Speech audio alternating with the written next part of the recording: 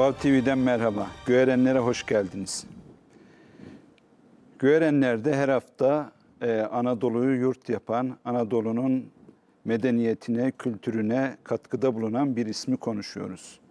Anadolu'nun Müslüman haline gelmesi, Türk yurdu haline gelmesi, medeniyetinin e, ve biliminin yükselmesi için katkıda bulunan müderrisleri, müfessirleri, alimleri, sufileri, dervişleri konuşuyoruz.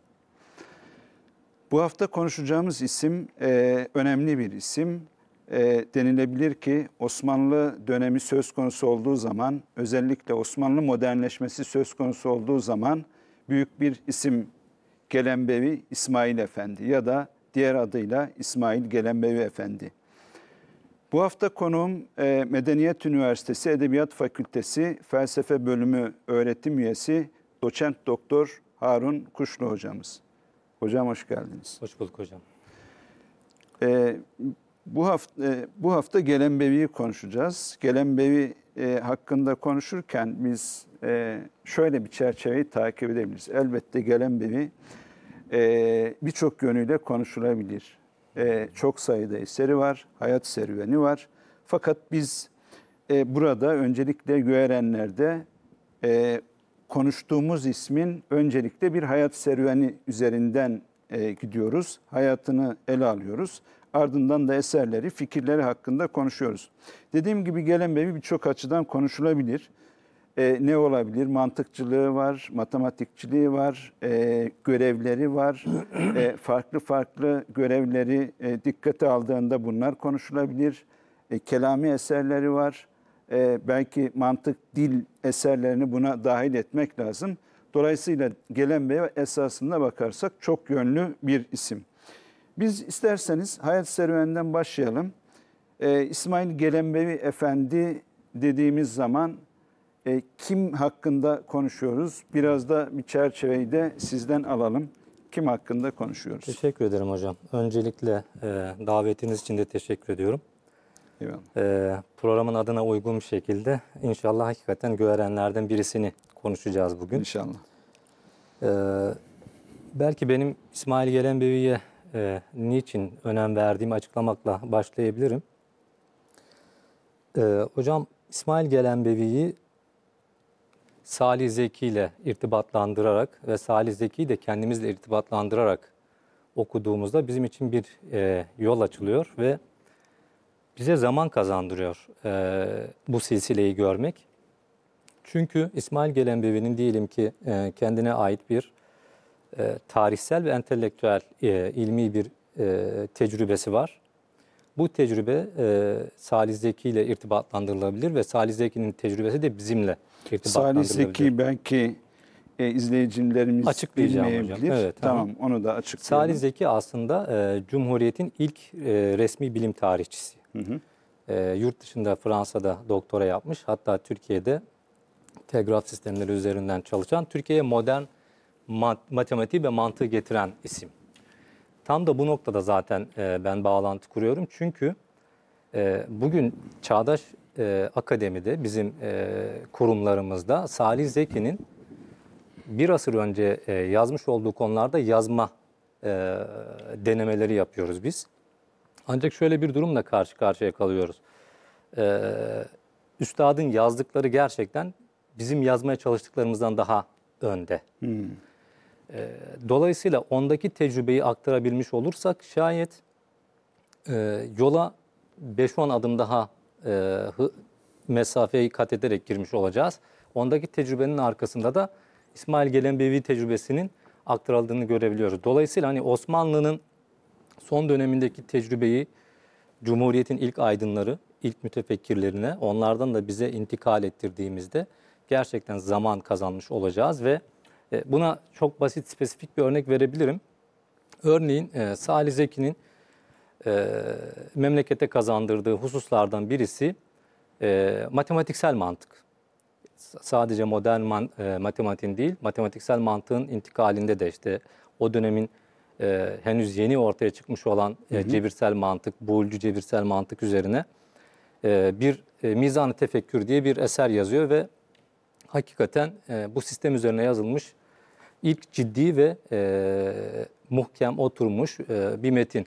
Fakat biz bugün hala matematiksel mantık hakkında yazmaya çalışıyoruz. E, belki Salih Zeki'yi okusaydık bu konuyla ilgili mesela e, artık kendi yorumlarımızı, kendi tercihlerimizi, kendi perspektifimizi geliştirebileceğimiz bir merhaleye ulaşabilirdik. Tam da bu noktada e, nasıl ki Salih Zeki'nin öncü, e, bizim öncümüz Salih Zeki ise Salih Zeki'nin öncülerinden birisi de İsmail Gelenbevi. Yani burada o zaman bizim Salih Zeki'yi okuyamamış olmamız aslında Gelenbevi'yi tanımakta da geciktiğimiz anlamına, anlamına geliyor. gelir. Ya da aksi yönden söylememiz gerekirse Salih Zeki'yi, e, Gelenbevi'yi Salih Zeki'ye, onun müktesebatını da bize aktarmamız gerekir. Evet. Ve bunu yapabildiğimiz oranda da hızlı yol alırız. E, tam İsmail Gelenbevi de bu anlamda örnek isimlerden birisi. E, yani yeni bilime bir biçimde e, temas eden, eski felsefeyi de muhkem haliyle e, temsil eden bir isim. Bu e, açıdan ben e, İsmail Gelenbevi'yi e, gelenekçi filozof, yenilikçi bilim adamı. Hem gelenekle ilişkisi itibariyle çok güçlü. Evet. Zaten eserlerini okuduğumuzda da konuştuğumuzda da onu göreceğiz. Ee, klasik geleneği biz İsmail Gelenbevi üzerinden çok daha iyi anlayabiliyoruz. Yani e, hakikaten oturup klasik geleneği kendinde toplamış ama diğer taraftan da yeniliğe açılan bir kapı da olmuş. Tam geçiş noktası ama e, anlamlı bir geçiş, bilerek bir geçiş, rastgele Evet, bir geçiş Gerçekçi, değil. Gerçekçi. e, ikisine de e, hakim olan, yeniyi de tanıyan, üreten, yeniye dair üreten, eskinin artık e, en muhkem halini temsil eden e, eserler ortaya koymuş e, bir isim. Bu yönüyle ben işte yenilikçi, bilim adamı, geleneksel filozof e, şeklinde tasvir ediyorum İsmail Gelenbevi'yi. E, hayatı hakkında e, konuşmaya başlarsak, bu arada hayatı da hakikaten hem ilgi çekici e, hem de hikayeleştirmeye çok uygun Hmm. e, bir hayatı var. Bir yandan e, trajik diyebileceğimiz de bir yanı, bir yandan da devlet imkanlarıyla da e, o olumsuz yönlerden kurtulan e, bir hayat hikayesi var. Şimdi öncelikle e, baba ve e, dede e, müftü, kadı ve ilmiye aile, e, ilmiyeden bir aileye mensup birinden bahsediyoruz. İsmail Gelenbevi dediğimizde. E, Gelenbevi nispesinden de anlaşılacağı üzere e, Gelenbe e, de e, doğmuş, Gelenbe'de e, büyümüş bir isim. Gelenbe bugün e, Manisa'nın e, sınırları içerisinde küçük bir kasaba. E, dedesi e, ve babası burada e, kadılık ve müderrislik yapmışlar. Dedesi Mahmut, e, Şeyh Mahmut, e, babası da e, Şeyh Mustafa. Dolayısıyla İsmail bin e, Mustafa bin e, Mahmut El Gelenbevi e, Ee, tam adı. yani bu şeylerden, ifadelerden anlaşıldığına göre aile zaten bir e, ilmiye sınıfına mensup bir aile. Gelenbevi aslında o kolu takip eden bir isim yani. Evet evet fakat şöyle bir tarihsiz e, durum var hocam. E, çocuk yaşta babasını kaybediyor Hmm. e, İsmail Gelenbevi. E, bu sebeple de aslında ilimden biraz e, bu e, atmosferden uzaklaşmış oluyor. Hatta e, hikaye e, edilir ki e, 13 yaşına kadar herhangi bir şekilde e, ilimle bir teması olmamış. Peki e, nasıl e, Aslında 13 yaş hocam Osmanlılar dikkat alındığında geç bir geç bir dönem? Evet. evet. geç bir zaman yani geç bir yaş. Çünkü genelde anlatılan şeydir Osmanlılar 4 yaş, 4 aylık, 4 günlükken bir defa eğitime başla başlatıyorlar Evet, çocukları. Evet hocam. E, o zaman bunu dikkate aldığımızda 13 yaş bayağı bir geç yaş olsa gerek. Yani demek ki biraz susuzluk biriktirmiş kendinde yani ilme dair bir susuzluk biriktirmiş yani. Öyle yani e, tabii ki ilme yönelişindeki hikaye de e, dikkat çekici. Hmm. E, hikaye şu, İsmail Gelenbevi babasının vefatından sonra e, o uzun arada ailede biraz e, sıkıntı içerisinde e, sokakta arkadaşlarıyla oyun oynuyor. Hatta ceviz oyunu e, diye anlatılır. İşte o e, Ege türkülerinde falan da vardır ceviz oyunuyla ilgili anlatılar. E, fakat babasının e, muhibbanından birisi Hmm.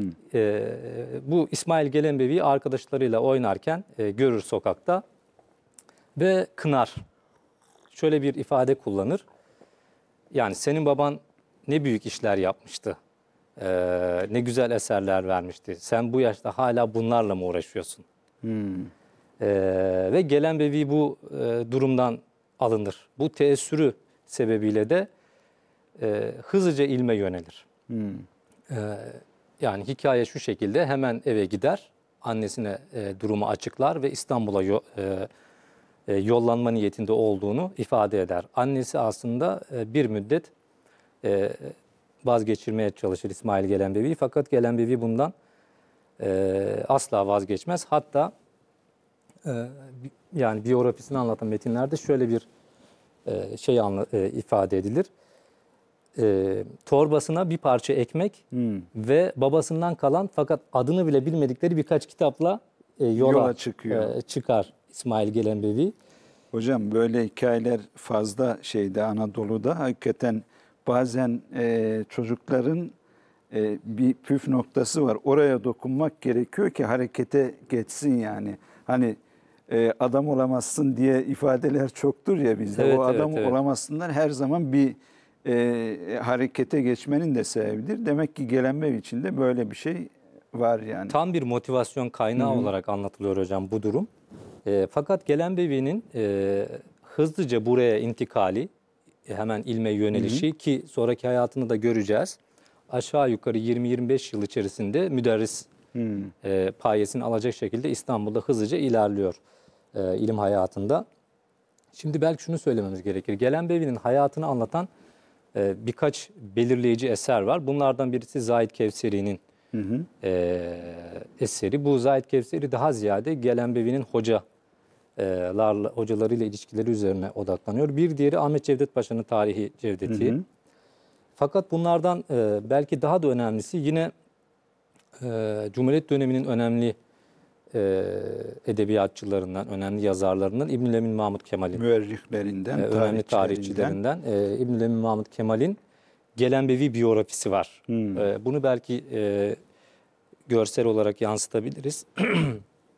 Bu eserin hocam İbnül Emin Mahmut Kemal e, Kaç hocam? Burada e, şey yapalım hemen söyleyelim. e, Gelen Bevi yazan. Gelenbevi yazan hocam. Gelen Bevi yazana bir görelim arkadaşlar. Evet, bu e, şöyle bir kere e, İbnül Emin'in yani önceki ulemaya dair belki de tek e, eseri. Hmm. Genelde kendi e, çağdaşı olan isimler üzerine yazıyor. E, ikincisi de e, kendi ifadesi şu. e, az önce saymış olduğum kaynaklardaki malumatı kullanıyor. Fakat torunu e, Hayrullah Efendi ile tekrar tekrar e, tasih etmek e, kaydıyla. Yani dolayısıyla aileden e, doğrudan bir ağızdan dinleme imkanına sahip ve e, bilgileri de oraya dayanarak tahsiye ediyor. Bu hocam Evet. Bu eseri, bu da e, meşhur Gelenbevi portresi. Gelen Bevi Muharriri İbnül Emin Mahmut Kemal Evet. İnal yok galiba. Evet, Mahmut evet. Kemal. Evet. Bu portre e, e, nasıl? Bu portrenin bir hikayesi vardır herhalde. Portrenin de bir hikayesi var hocam. E, bunu da e, inşallah konuşuruz. Bu portrenin hikayesi e, Logaritma Risalesi'nin yazılışıyla e, ilişkili. Oraya geldiğimizde dilerseniz. Tamam. Oraya Ee, geldiğimizde anlatalım. konuşalım. E, ama biz e, söylediğinizden şunu anlıyorum ben. Biz Gelenbevi hayatı hakkında konuşurken e, birkaç kaynağımız var. Zahid Kevseri bunlardan bir tanesi. Zahid Kevseri büyük bir alim aynı zamanda. E, Hanefilik üzerine birçok eseri olan Hanefi e, geleneği üzerine eseri olan birçok tahkiki olan e, bir alim. Diğeri Ahmet Cevdet Paşa büyük tarihçilerimizden bir tanesi. Evet. Diğer, diğeri de Mahmut Kemal. Yani büyük adam, büyük adamlar büyük, Büyük adamla ilgilenmişler yani. Evet. Evet. biraz öyle olmuş. Burada işte e, Mahmut Kemal'in Gelenbevi'nin bu çocuk yaşta e, taan edilmesinden sonra hızlıca İstanbul'a yönelişini anlatırken şöyle bir Farsça şiiri dile getiriyor ki bu e, eski atasözlerinden birisi anladığım kadarıyla. Yani Farsça okuyuşumu yanlışsa düzeltirsiniz hocam.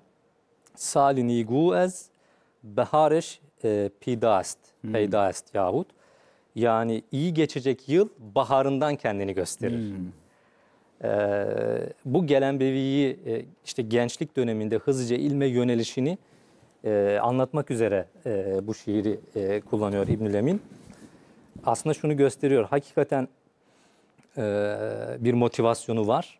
Belki o motivasyonu açığa çıkaracak şartları bekliyordu ve o babasının muhibbanından olan e, kişi gelip işte gelen bebeği bu şekilde e, dürttüğünde, motive ettiğinde hızlıca kendini oraya veriyor. Hocam bunu neye benzettim şimdi siz anlatırken?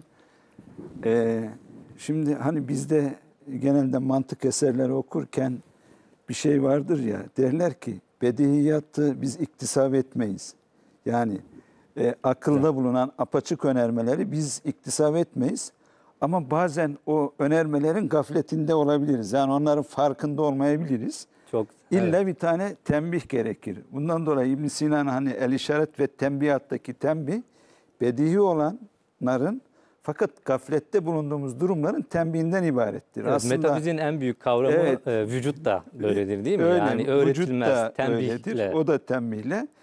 Bu şu anlama geliyor. Demek ki gelen mevide ilim bir bedihi yani kendiliğinden bulunan bir şeydi. Evet, evet. O gafletten uyandırılması gerektiriliyordu. Ee, gafletten uyanmasına vesile olan bir söz olmuş. Ee, Evet. Ama aynı zamanda bu söz de yani ikinci söz de anlamlı.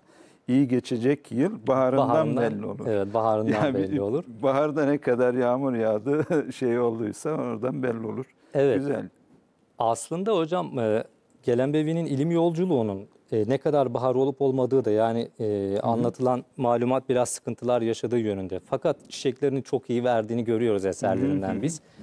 E, hatta gene İbnül Emin ilim onun için bir sıkıntıydı fakat okuyanlar için nimet haline dönüştü. E, gibi bir e, ifade de kullanıyor. Hocam ilim hep zaten öyle değil mi? Evet. Külli şeyin maniun velil ilmi mevani evet. derler. Evet. Ee, biraz öyle olmuş. Ee, hocam e, İbnül Emin Gelenbev'in çektiği sıkıntılardan bahsediyor. Ee, bu sıkıntılar e, büyük adam olma yolunda bir e, merhale de aynı zamanda öyle görünüyor. Yani mum alacak e, seviyede e, fakir olan birisi e, nereden gelip nereye doğru yolculuk yaptığını da biliyor demektir. Evet evet.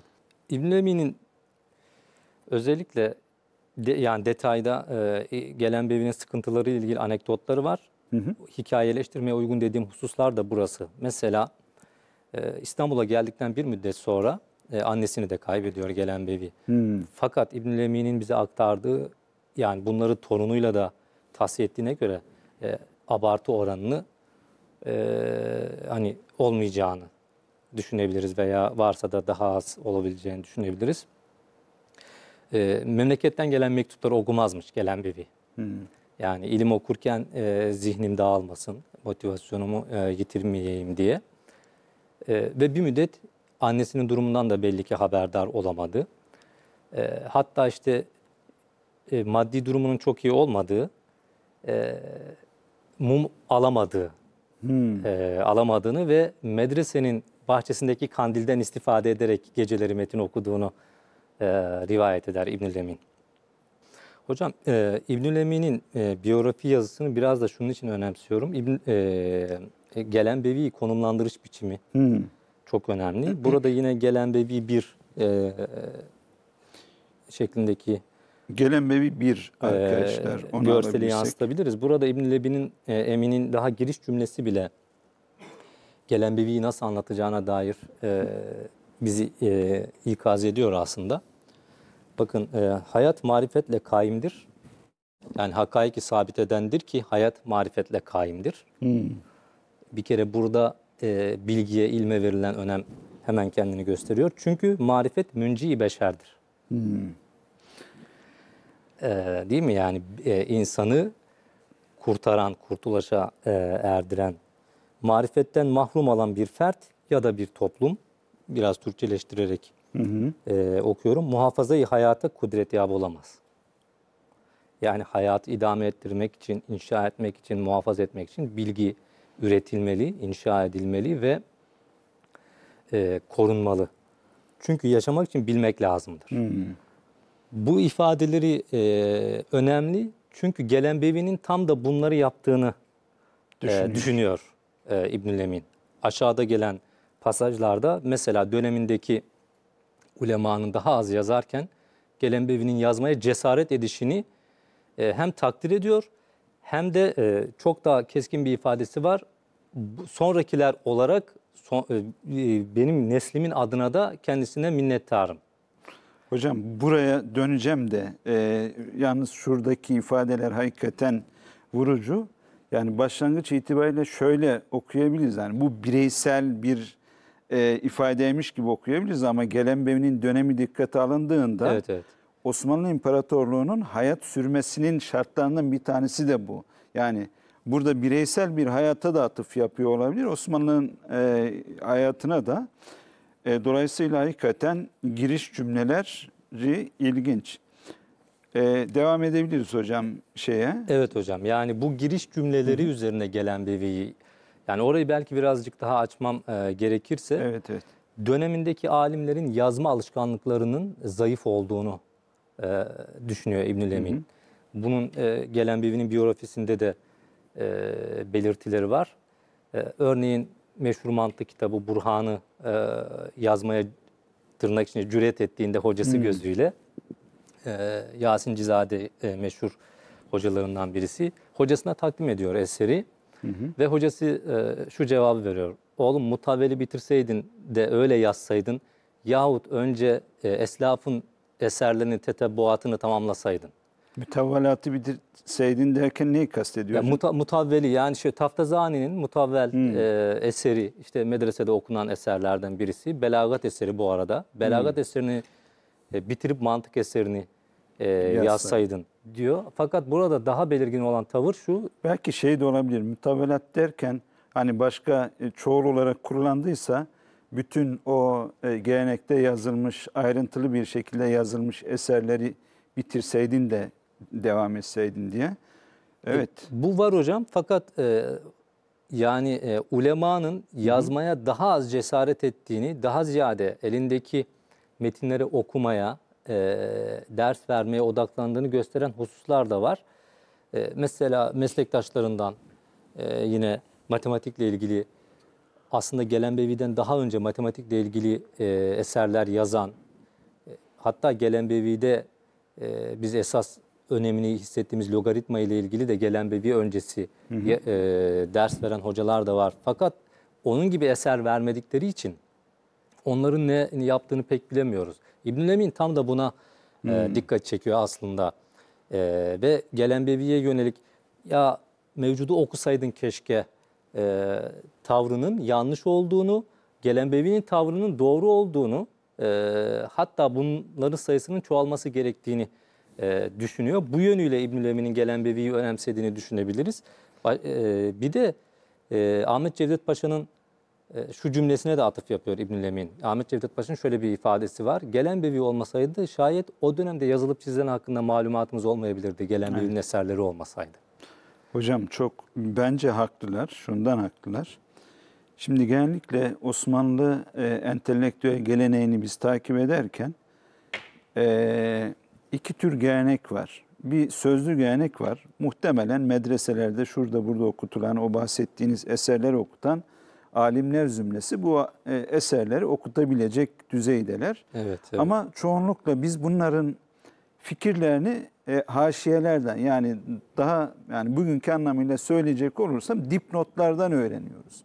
Yani birçok e, alimin bugün İslam ansiklopedisinde, başka ansiklopedilerde, İslam Düşünce Atlası'nda hayatlarına baktığımız zaman genellikle şu tür ifadeler var. İşte haşiye, haşiye, haşiye, haşiye ve bunlar da aslında düzenli bir haşiye de değil yani haşiye tecrit gibi düzenli haşiyeler değil. evet. Dipnotlar şeklinde. Talikler. Dolayısıyla tarihler şeklinde ve biz buradan çok fazla malzeme çıkaramıyoruz.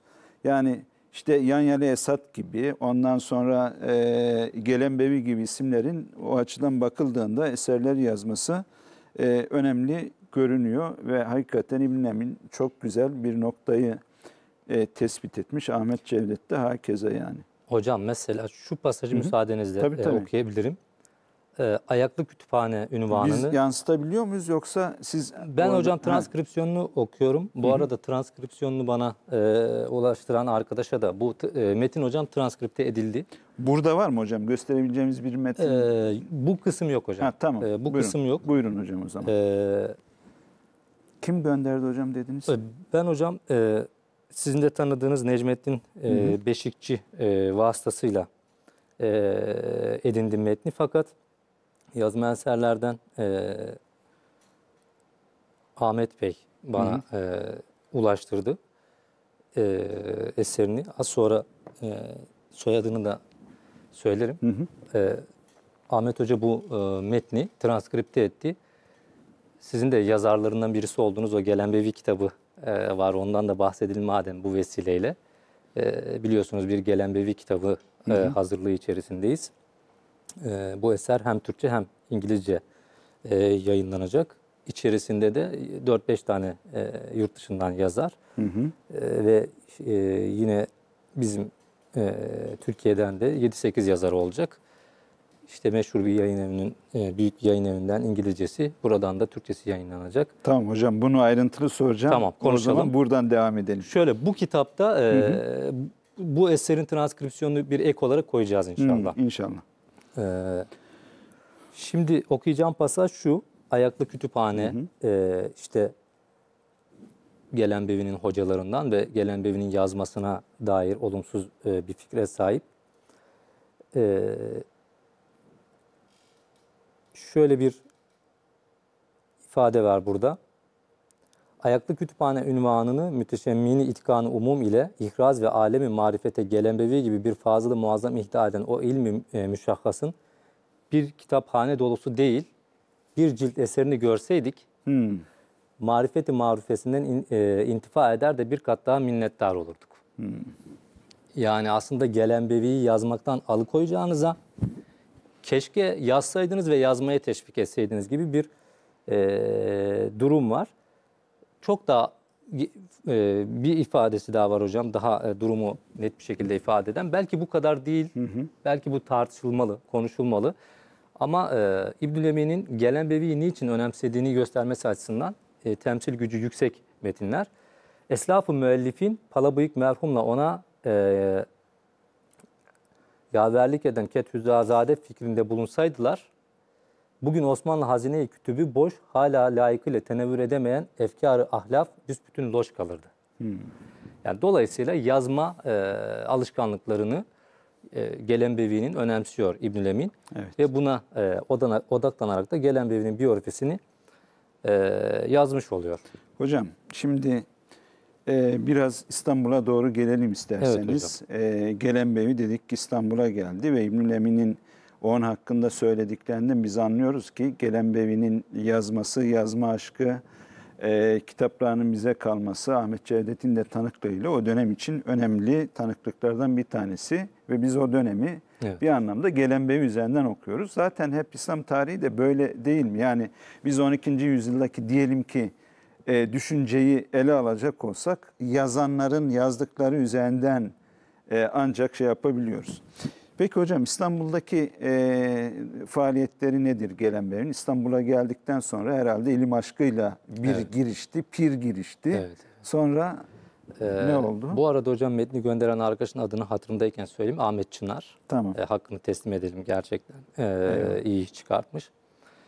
E, İstanbul'a geldikten sonra medresede hakikaten hızlıca e, ilerliyor ve aşağı yukarı 30-34 yaşlarında e, mülazemeti e, alıyor.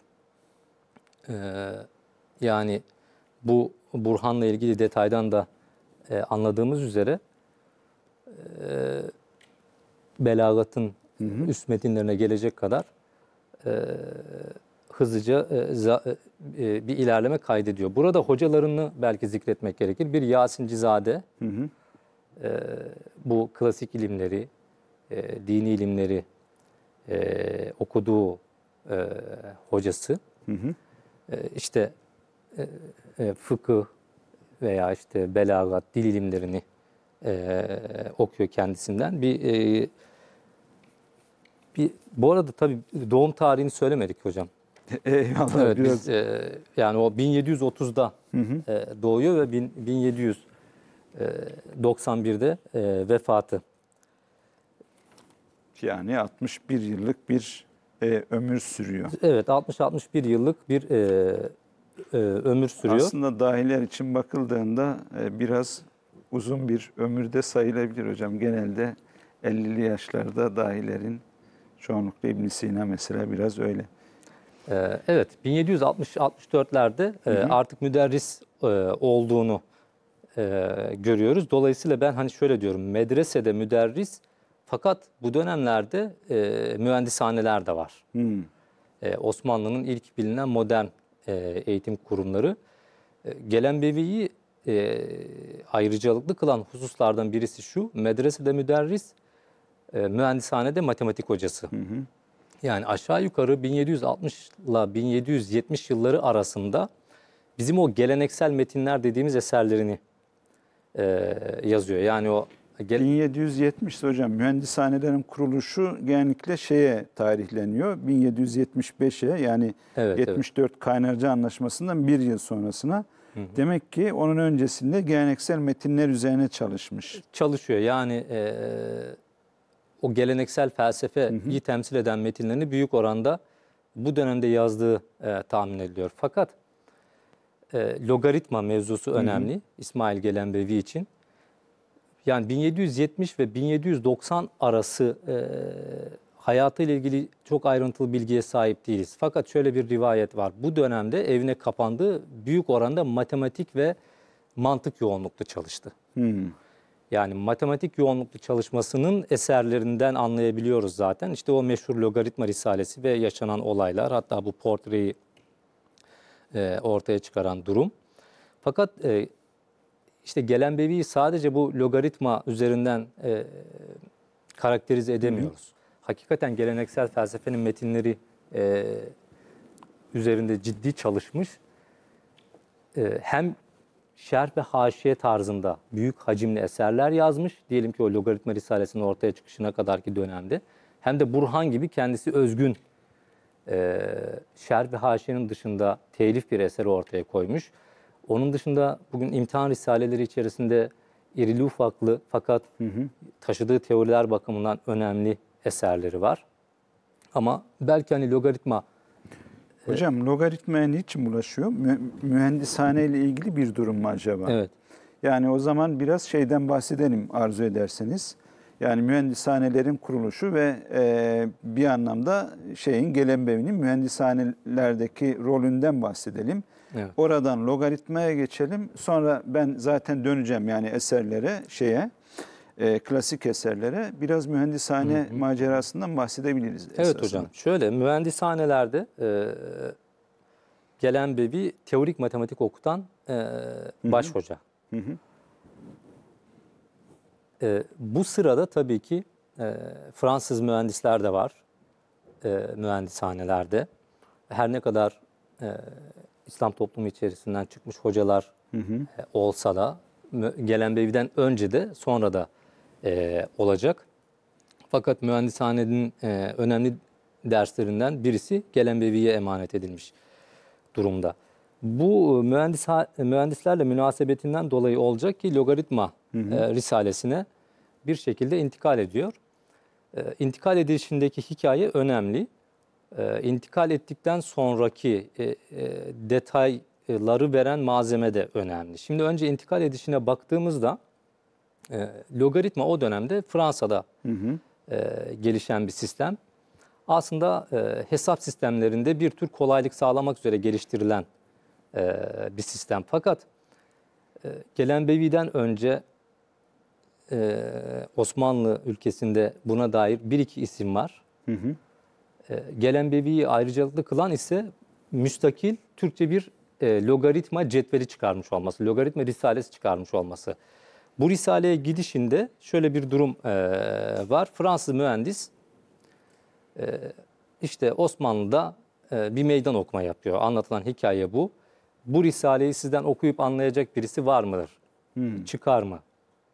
E, gibi bir meydan okuma yapıyor ve gelen bir risaleyi alıyor. E, iki hafta sonra Türkçe e, yeni bir telifle mühendise geri getiriyor. Allah.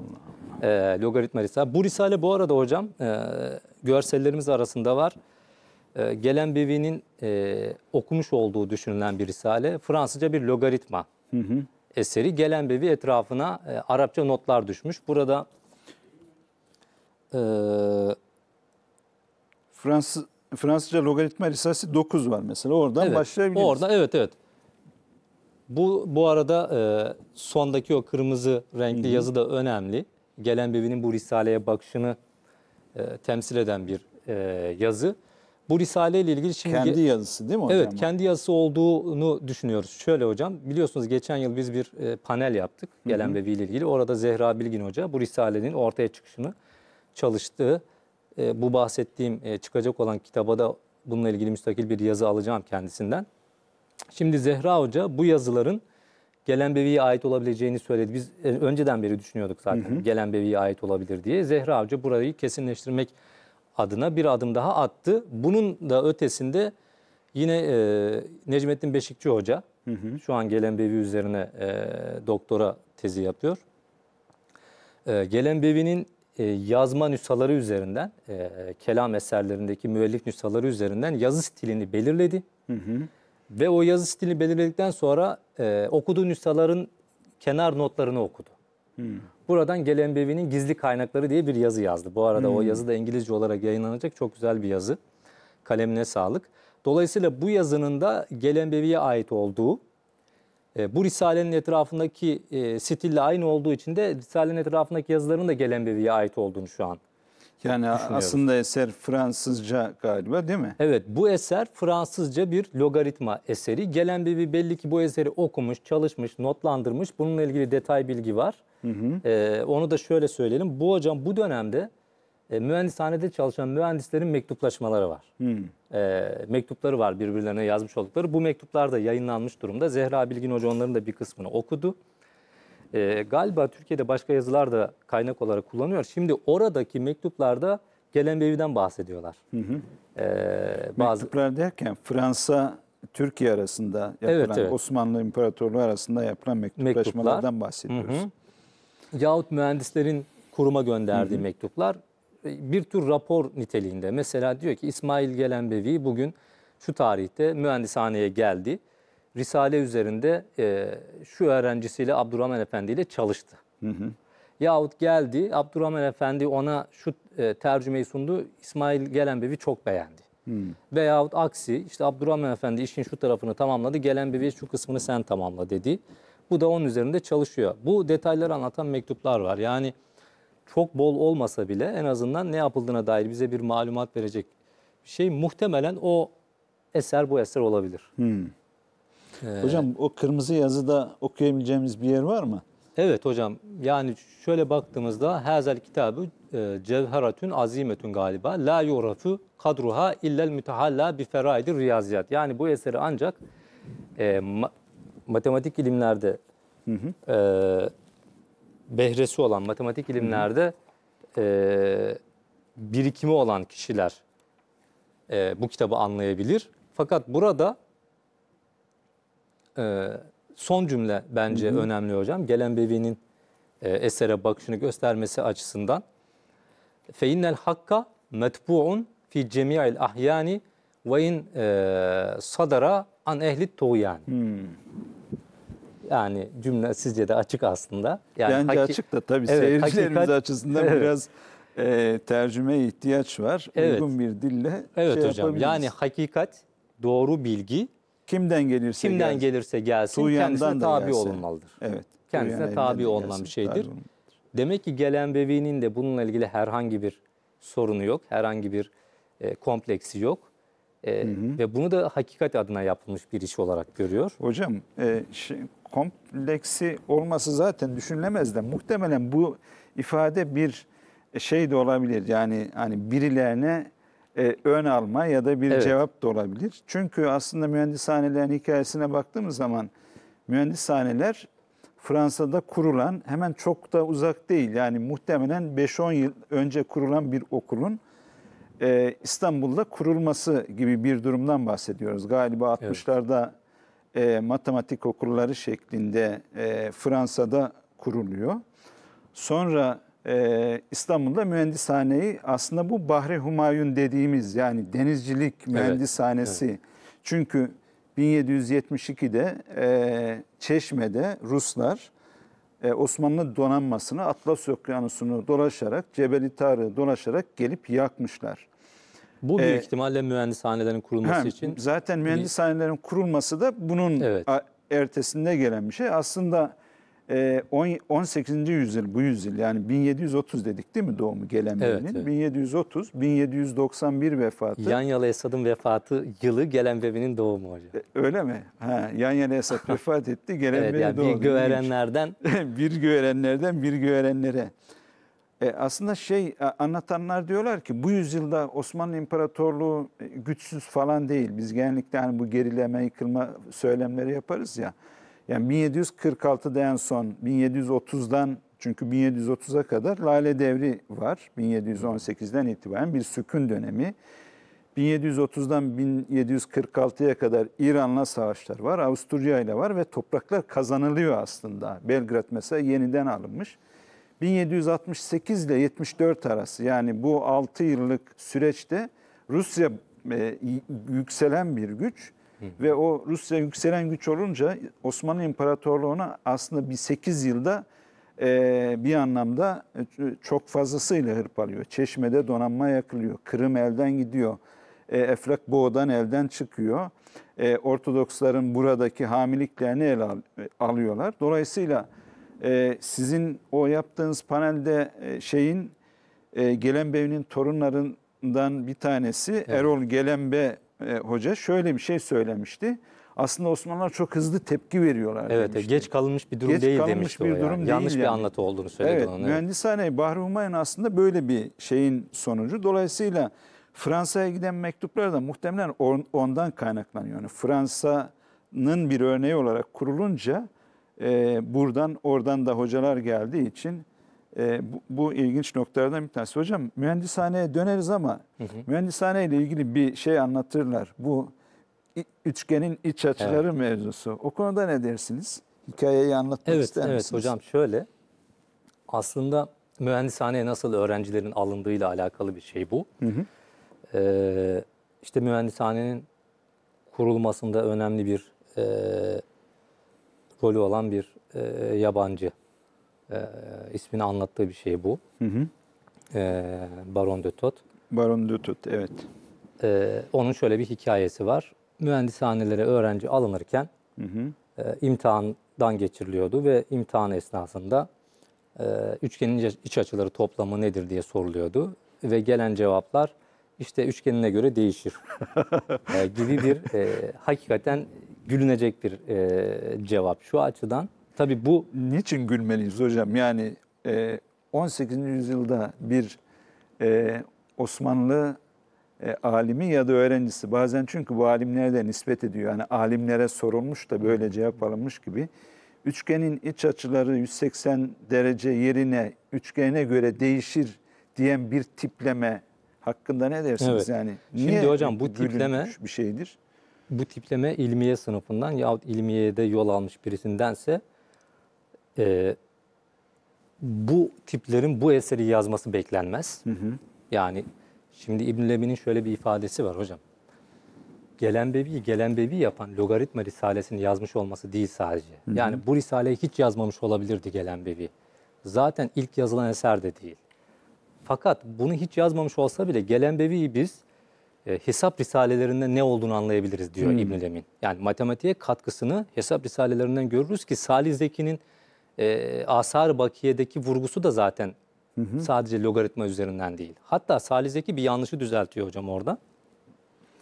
Yani gelen bebeğinin logaritma üzerine ilk eser yazan isim olduğu bilgisi yanlıştır diyor Salih Zeki.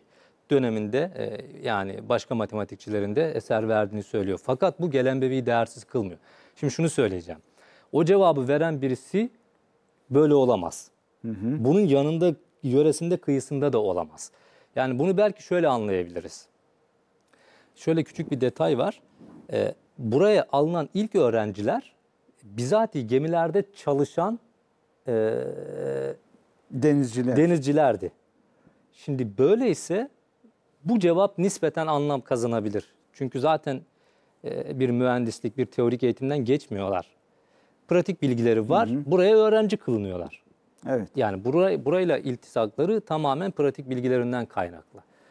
Belki bu cevaplar onlar için anlamlı olabilir. Fakat Ama bu bu şey ulema için bu asla söylenmez hocam. bunu o zaman şöyle sunmazsın. Baron de Tut çünkü bunu sunarken Türklerin bilgiden, bilimden Evet. ne kadar da habersiz oldukları bağlamda sunuyor.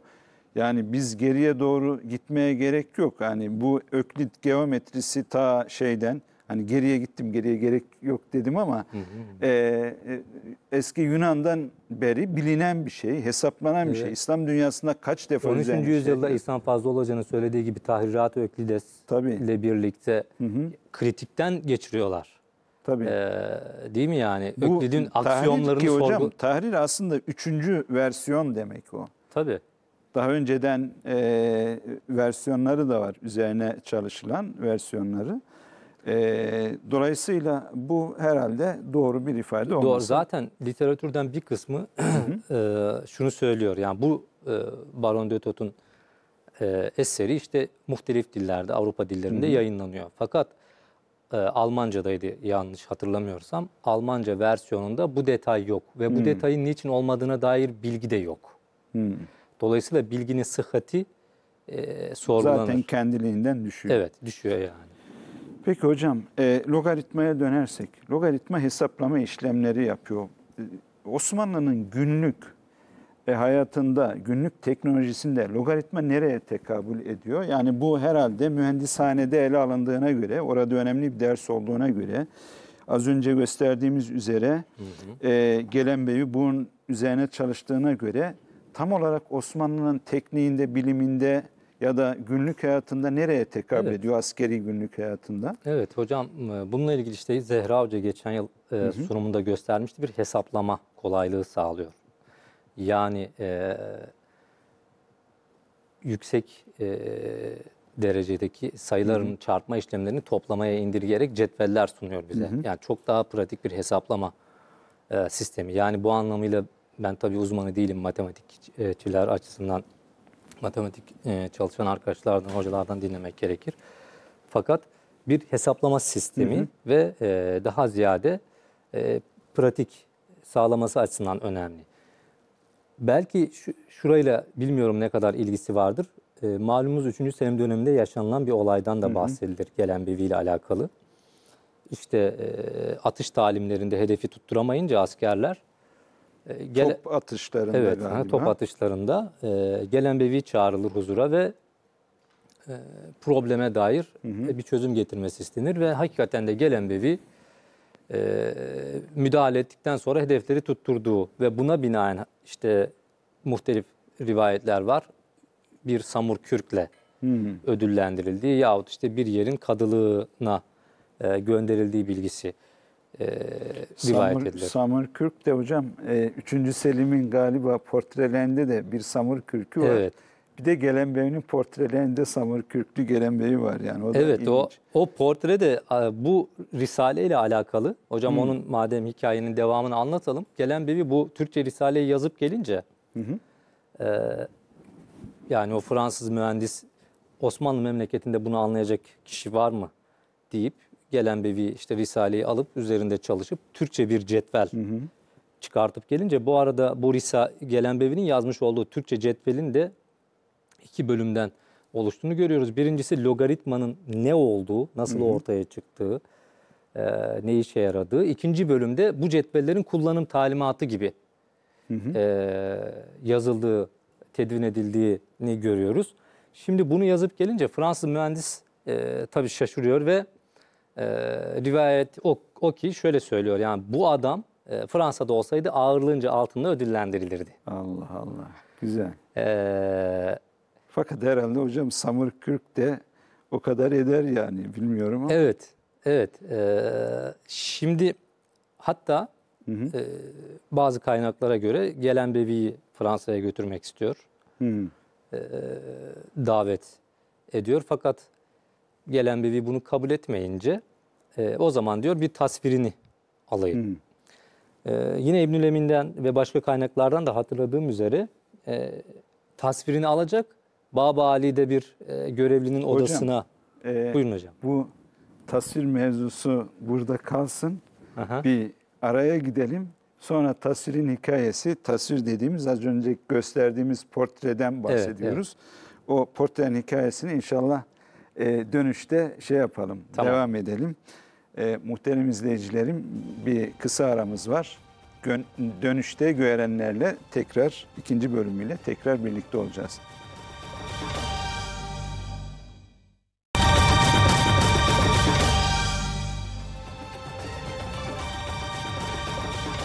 Göğerenlere tekrar hoş geldiniz. İkinci bölümde birlikteyiz. Ee, konuğum İstanbul Medeniyet Üniversitesi Edebiyat Fakültesi Felsefe Bölümü öğretim üyesi doçent doktor Harun Kuşlu. Gelenbevi hakkında konuşuyoruz. Birinci bölümde daha çok Gelenbevi'nin hayatı üzerine konuştuk.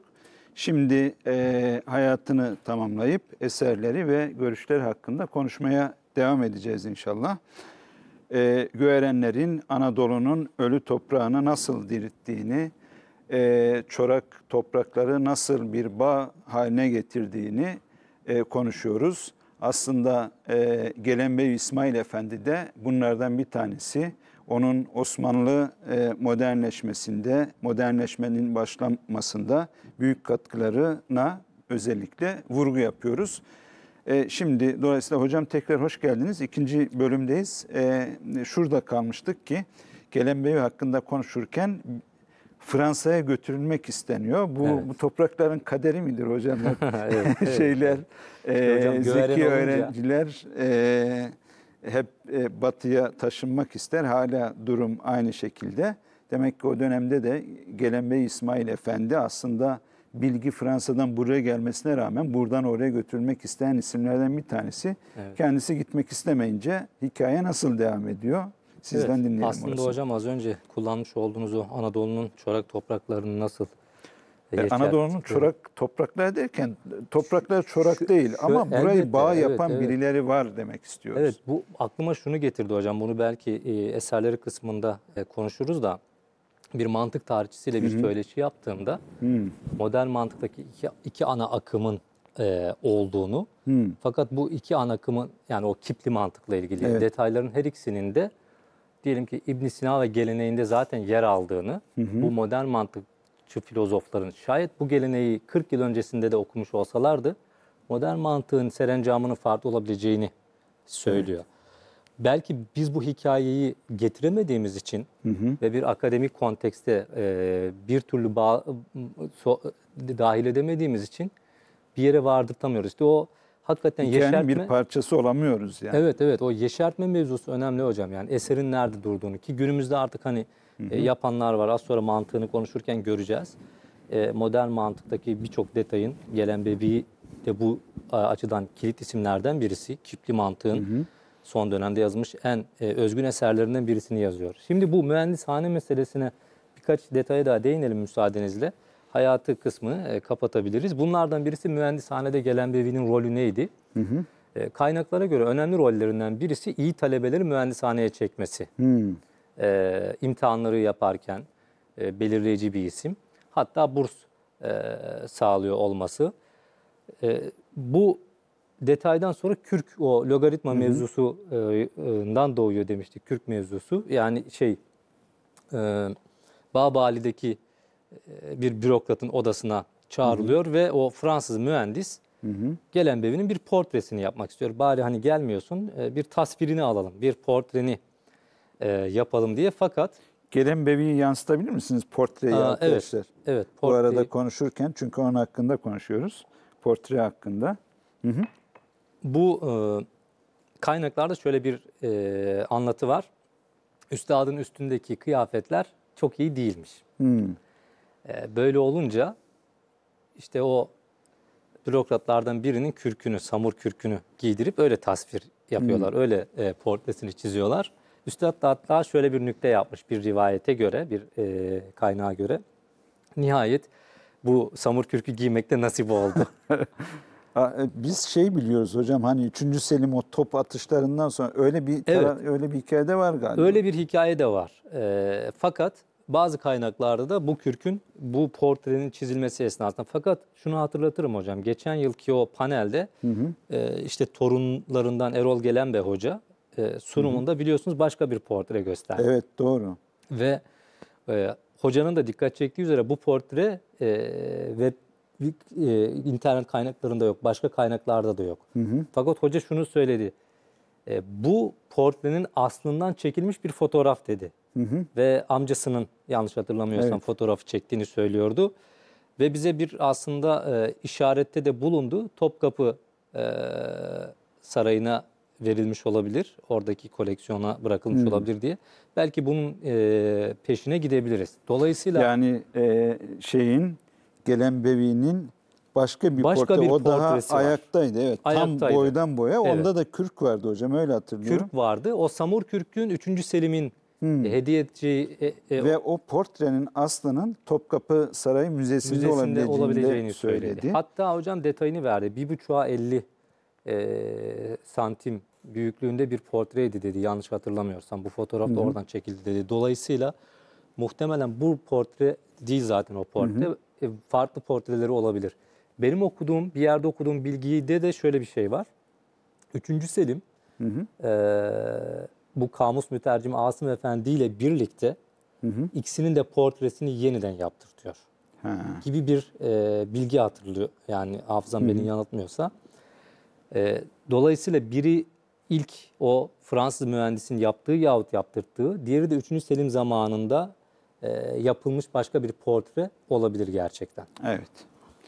Peki hocam şimdi e, Gelenbevi İsmail Efendi'nin mühendishaneden sonraki hayatı nasıl tamamlanıyor? E, Sonraki hayatı bu işte matematikteki başarıları, o atış talimlerindeki başarılarından dolayı e, ödüllendirilmek üzere Larissa'ya, Yunanistan'ın Yenişehir e, kentine Mevleviliğe tayini, e, Mevlevihaneye tayini e, yapıl- e, yapılıyor. Fakat burada tabii e, başka bir rivayette dönemin Şeyhülislam'ı Hocam tam bununla ilgili belki e, bir soru sorarsam belki açıklayacağınız noktada ya insan aklına şöyle bir şey geliyor. Şimdi biz İsmail Gelenbevi Efendi gibi büyük bir isimden bahsediyoruz. Yani bu büyük bir isim e, sadece eserleriyle değil, aynı zamanda bürokrasiyle de içli dışlı olan bir isim. Üçüncü Selim'in huzuruna çıkan bir isim. Yani o top atışları vesilesiyle değil sadece. Huzur dersleri sebebiyle de 3. Selim'in huzur derslerine katılan bir isim. Yani huzur derslerine katılmak ne demek? Aslında şöyle bir şey demek.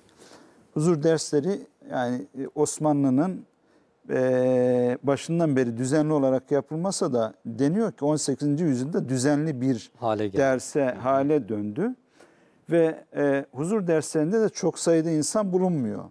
Bir takrir eden, dersi takrir eden büyük bir isim bulunuyor.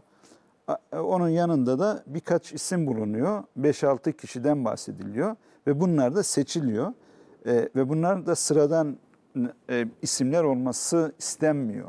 Padişahın huzurunda çünkü tartışılacak ve Ramazan ayında olan şey. Şimdi huzur dersleri bir yanıyla iyi, bir yanıyla kötü. İyi olan kısmı şu, e, siz padişahın huzuruna çıkıp bir anlamda o dönemde kendinizi gösterme ve e, bürokrasi yollarında ilerleme e, şansını elde ediyorsunuz. Kötü olan yanı da şu, sözün şehvetine kapılıp tartışmayı abartı, abartabilirsiniz. Bu tür olaylar da yaşanmış. E, sonra da e, yani Bu tür olaylar yaşayıp sürülenler Ha, var. sürülenler de var. Evet. Şimdi asıl gelmek istediğim nokta şu. Yani bu kadar teknik Osmanlı'nın büyük bir tekniğe ihtiyaç duyduğu dönemde teknik e, altyapıyı sağlayacak bir İsmail Gelenbevi Efendi'den bahsediyoruz. Ve e, Osmanlı'nın yüksek kademelerinde de yeri olan bir isimden bahsediyoruz. Siz padişah olsanız hocam böyle bir insanı Yenişehir Mevlevi hanesine gönderir misiniz? Niçin gönderirsiniz? Evet hocam sorunuzdaki e, o nükteyi e, aldım, kabul ettim diyelim. Açmaya çalışalım. Yani bir enteresanlık var değil mi? Bu kadar. Kesinlikle evet. Ben yani ödül gibi sunuluyor ama Evet. bir sorun var gibi de duruyor yani. Yani bir spekülasyon yahut spekülasyona açık bilgi kırıntıları var burada. Tabii e, üstadın hayatıyla ilgili bir e, teşvişe de yol açmayalım. E, dönemin Şeyhülislam Hamidizade e, Mustafa Efendi ile aralarında işte hilalin gör- görülmesi mevzusunda bir tartışma olduğu. E, gelen Bevi Üstad'ın işte bu burada hilalin görülmesi meselesinde matematiksel hesaplara dayanmamız gerektiği yönünde görüş bildirdiği.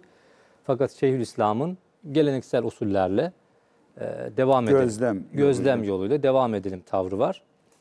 E, hatta işte e, bununla ilgili bir tenkit mektubu gönderdiği e, gelen beviye. Hatta ölümüne bunun sebep olduğu da söyleniyor. Yani buradan bir e, e, aşırı üzüntü yaşayarak hastalandığını ve e, vefat ettiğini e, ifade eden kaynaklar var.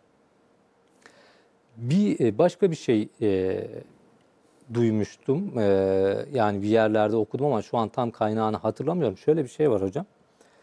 E, yani üst e, bürokrasinin üst e, e, işte sadrazama vesaire bu Şeyhülislam'ın bu gelen bebeği bir yerlerde tutmazsanız Fransa'ya gitme ihtimali var gibi bir Hmm.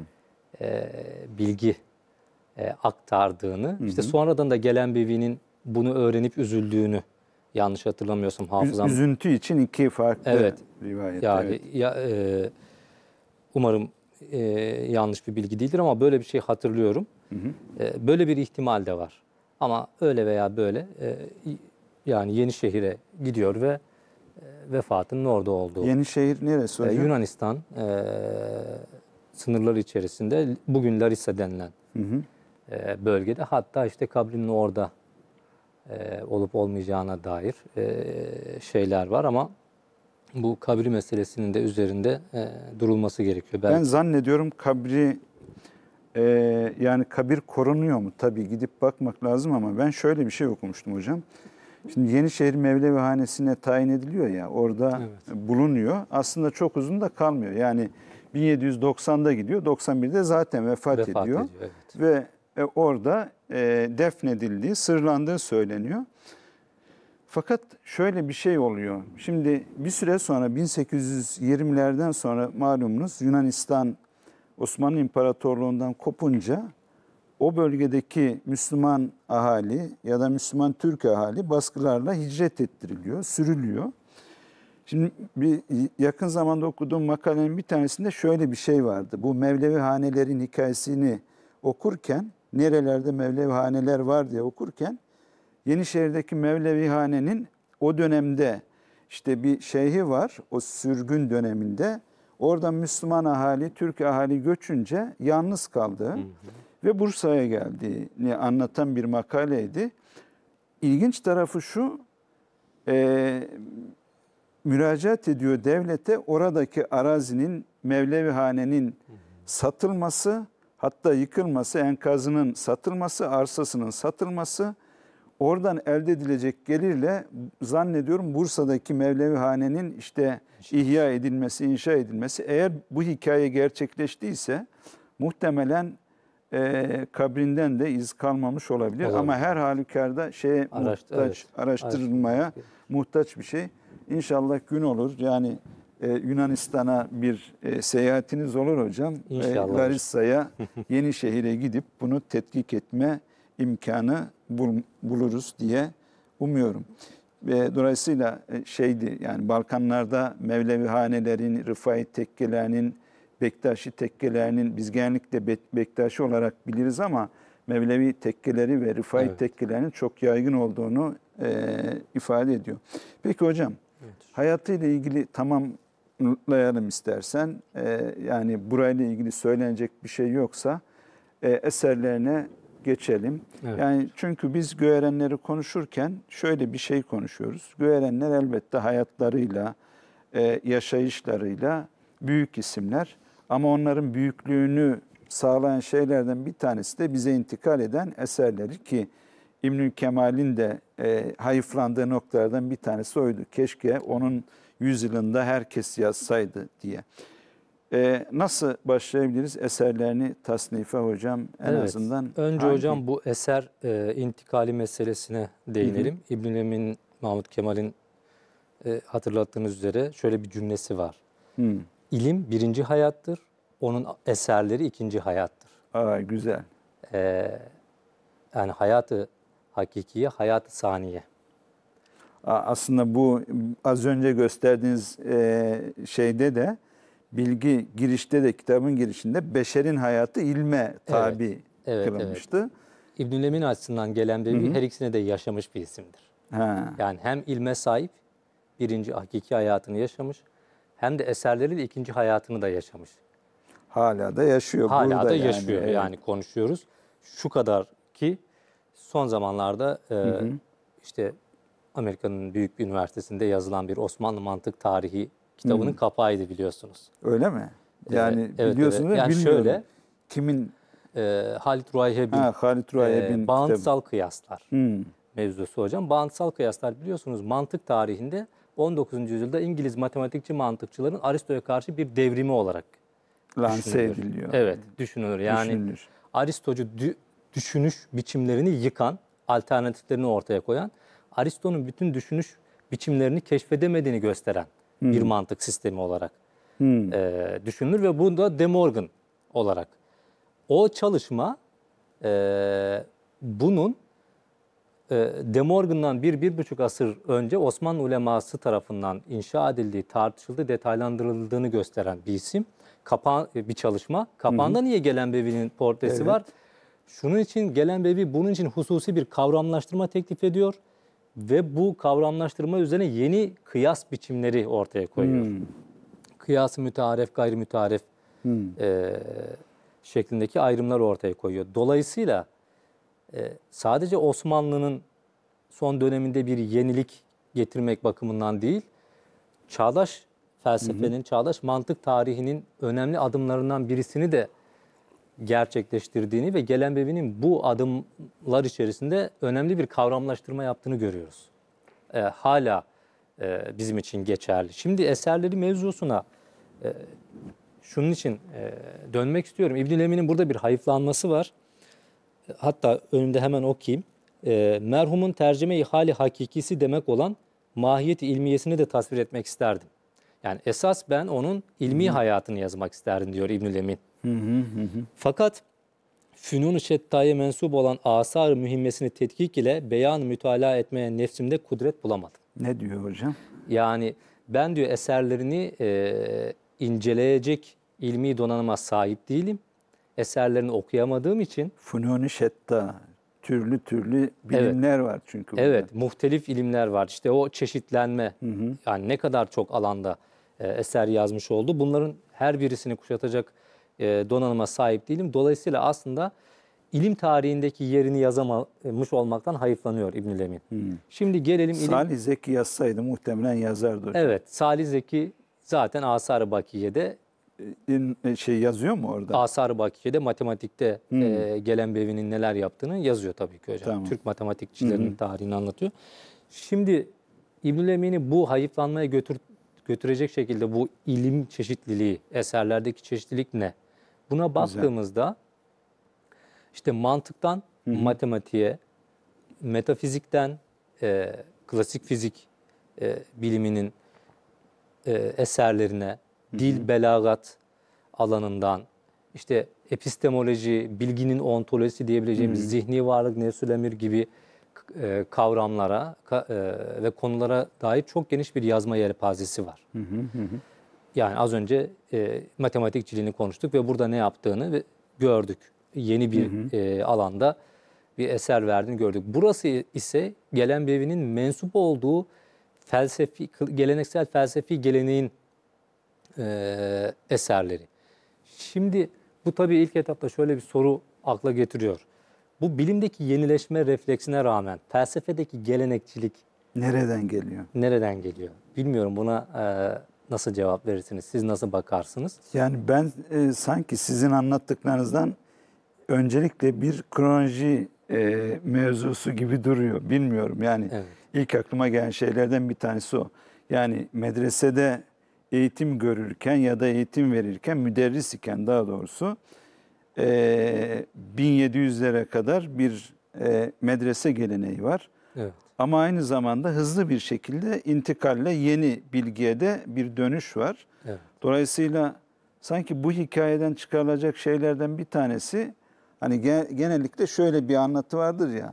Osmanlı'ya ilmin gelmesine, işte Batı biliminin gelmesine en fazla ayak direyenler alimler oldu. Aslında öncüler alimler yani. Kim yapabilir ki? Yani insanlar şey gibi düşünüyorlar.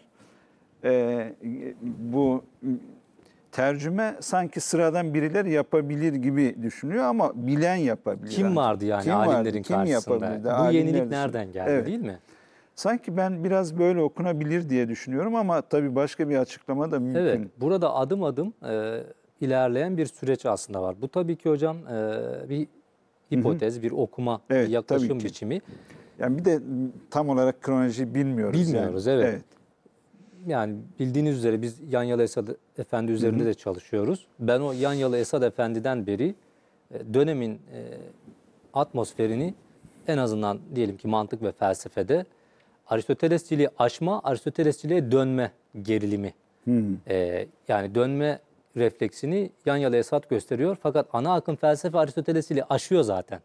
Yani gelen Bevi'nin az önce bahsetmiş olduğum o e, ilişkisel kıyaslar, De Morgan'ın daha sonra yapacağı, yapmaya çalıştığı şeyi çoktan yapmış olması Aristotelesçiliğin bir biçimde aşıldığını, aşındırıldığını gösteriyor zaten. Bu açıdan şöyle tabii ki ironik bir durum var belki en azından şaşırtıcı. Ana akım geleneksel felsefe yenilik arayışlarından daha yenilik, yenileyici, yenilen, yenilenen bir tarafı var gibi. Tam da bu sebeple dışarıda yeniyi aramıyorlar sanki felsefede. Zaten hemen her şeyi ifade eden bir paradigmaları var e, ellerinde. Bu açıdan mesela Yanyalı Esad'ın refleksi e, çok karşılık bulmuyor. E, Osmanlı uleması nezdinde. Gelenbevi'nin yazdığı eserlere baktığımızda da şunu görüyoruz. Yaz, kalem oynattığı hemen her konuda son sözü söyleyecek kadar e, detaylı, bir o kadar derin. Fakat diyelim ki Taşköprüzadelere indiğimizde aynı kavramların Taşköprüzade'deki kullanımına baktığımızda oradan farklı bir muhtevaya da sahip kavramlar kullandığını görüyoruz. Zihni varlıkta, nefsül emirde, Yani aslında şunu söylüyorsunuz hocam çok ilginç bir ayrım. Tabii bu muhtemelen 18. yüzyıl Osmanlı'nın en ilginç yüzyıllarından bir tanesi. Her her bakımdan bir geriye doğru dönüşler, işte o bahsettiğiniz ilim geleneği içinde aşma denemeleri falan derken çok ilginç. Yani incelenmesi gereken şey. Söylediğiniz şey aslında Gelenbevi geleneği incelerken gelenekçi de durmuyor yani. evet evet geleneğin kendi içinde yenilenmesi diye bir şey söz konusu. Hmm. Ee, Belki de çok daha sağlıklı bir tavırdı yani. Bunu hatta hocam ben e, ara ara e, size de dillendiririm. E, bu mümteniat, imkansız varlıklar vesaire bu modern mantıkta işte mümkün dünyalar semantiği, imkansız dünyalar semantiği bambaşka yepyeni şeyler söylüyor klasik mantığa Evet. nazaran. E, gelen bebeğinin de bu farazi tümeller, imkansız varlıklar, işte müm- e, imkansız varlıklara dair bilgi, e, bu bilginin ontolojisi, zemini, mantıksal uzayı falan gibi konularda yazdığı risaleler var. Mesela Seyyid Şerif Cürcani ile mukayese ettiğimizde bu kavramlara ve bu kavramların dilsel, zihinsel uzantılarına çok önem verdiğini görüyoruz gelen Bevi'nin. İşte farazi bir şey nasıl kavramlaştırılabilir? Ontik bir zemin yok, dış dünyada nesnesi yok. Tabii Farazi dediğiniz hocam daha daha Şöyle, anlayabileceğimiz evet, popüler evet. bir örnek verebilir Şöyle misiniz? mesela Var hocam mesela? bunun tabii kademe kademe. e, diyelim ki e, bir yarışta bir tane birinci olur. Evet. Birincinin ortağı olmaz. Bunun gibi zihnimizin de en tepeye koyduğu kavramlar var. Mesela Tanrı kavramı Evet. veya mükemmellik kavramı. Tanrı'nın ortağı kavramı mesela Hmm. kendinde çelişik bir şey değil mi? Yani farazi olabilir bu ancak. E, Dış dünyada gösterilebilir olması mümkün değil. Ama bir kavram olarak bizde var. Evet ama bir kavram olarak nasıl Nereden var? doğrulayacağız? Evet yani nasıl var bir kavram olarak zihnimizde? Mesela bu epistemolojinin mantığın bir problemi. Hmm. Modern e, felsefede ve mantıkta başlı başına bir problem. Mümkün dünyalar semantiği vesaire gibi konular buradan e, yeşeriyor. Daha da ötesi e, diyelim ki dört köşeli daire e, gibi. Yani çağdaş epistemoloji üzerine e, e, çalışanlar, tartışanlar bunu sıklıkla kullanırlar. örneği. kullanırlar. Hatta hocam e, çelişkilerin mantıksal olduğu bir e, döneme geldi var mı? Evet, aslında doğru. Evet. e, mantık. Şaşırtıcı olan şu, bu kadar değilse bile neredeyse bu kadar ra yakın kavramları gelen ve de görüyor olmamız. Hmm, ilginç. Ee, ben bu farazi işte bu farazi tümeller e, buna diyorum aslında hani farazilik burada kendinde bir nesnesi yok ama zihnin kurgu, kurduğu bir şey. E, dörtgen daire, mükemmelin ortağı, tanrının ortağı gibi kavramlar. Evet. Ee, bunların sadece dilsel mi aynı zamanda zihinsel mi olup olmadığını hep merak ediyordum.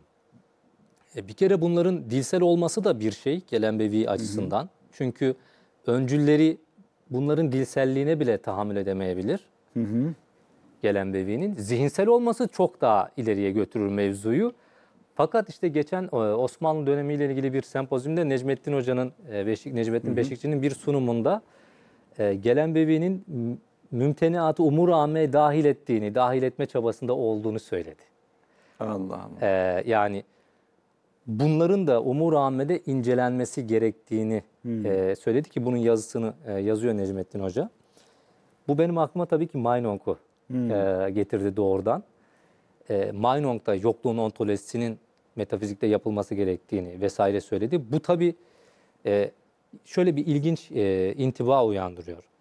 Frege sonrası e, mantık mantık felsefesi tartışmalarının bizim bir biçimde İbn Sina sonrası döneminde İbn Sina sonrası düşünce e, tarihinde sınırlarının yoklandığını, varıldığını, tartışıldığını belki söyleyebiliriz. E, De Morgan'ın öncüsü olacak konuları yaptığımız gibi. Burada da e, belli şeyler var. Dolayısıyla hani gelen bir e, şeyi e, söylememiz gerekirse bu ana akım e, felsefe ve mantık kendi içinde kendini çok daha yenileyici bir reflekse sahip. O, o zaman benim teori açıkça yanlış hocam. Hangisi hocam? Ha şey mi? Yani ben dedim ki muhtemelen öncelikle e, klasik bilimler üzerine çalıştı. Sonra e, modern problemler üzerine eğildi. Bu öyle bir durum değil. Yani önce klasikler hakkında şey yapıp yazıp devam etmiş birisinin yolu değil. Çünkü klasikleri yazarken de o zaman uyanık e, bir zihne sahip. Yani Çok. muhtemelen e, belki bunların en önemlilerinden bir tanesi de Burhan kitabı. Hocam e, gayet güzel bir noktaya değinmiş olduk böylece. E, gelen bir aslında klasik içinde bir yenilik arayışı da olan isimlerden bir tanesi. Hani geriye doğru bakan yenilikçiler, işte kadime bakanlar, cedide bakanlar, kadimden cedidi üretenler şeklinde farklı tasniflemeler yapılabilir ki bunların birçoğunu İhsan Hoca ifade ediyor. E, mantıkla ilgili hocam çalışmaları madem böyle yani bu tür uç konular da ele alınıyor. Mantıkla ilgili çalışmaları e, neler? En azından birkaç tanesinin ismini söyleyelim. Evet. Ee, tabii ki en çok göze değen çalışması ve hakkıdır da. Çünkü hemen e, akabinde çok büyük e, önemli isimlerden önemli şerhler yazılıyor. El Burhan kitabı. Burhanı Gelen Bevi e, adıyla bilinen. E, işte o hocasının bunu niye yazdın ki şimdi dediği e, eser. E, bununla ilgili mesela o e, mantık tarihçilerinden birisi şu ifadeyi kullanıyor.